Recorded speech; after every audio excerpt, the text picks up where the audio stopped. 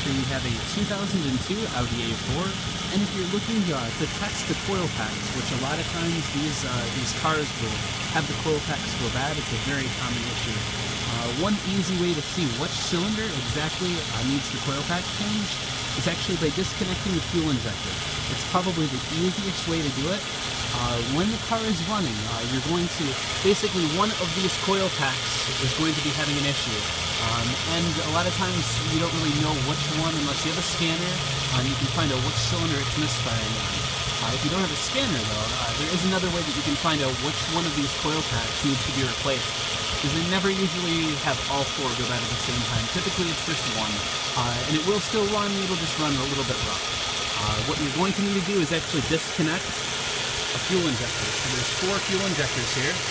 And the easiest way to do that is just to pull this little pin, push this pin in, and then just disconnect the fuel injector. And you can see which cylinder by the shaking of the motor and also by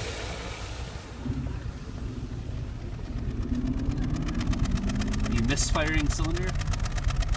And uh, if uh, you can see how uh, it has a very specific pulse to it. And uh, basically what that is meaning is that this cylinder uh, has a misfire. Because when you plug that back in, that misfire goes away.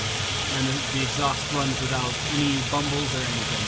Um, so that's uh, that's the best way to figure out how to uh, to check your coil packs is basically finding out which one of these injectors. Uh, I'll give one more example. Uh, I'll disconnect the second one and you can see it. You can see it bumbling. You can actually hear it.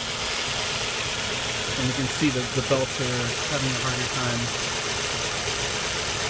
staying stationary. But as soon as I plug that back in, it goes away. That's the best way to find out what cylinder is actually having an issue. Uh, if you have any questions or comments, please feel free to post below. Otherwise, hopefully this video helps uh, solve your problem with your coil packs and uh, get you back on the road. So have a great day, good luck with your project, and thanks for watching.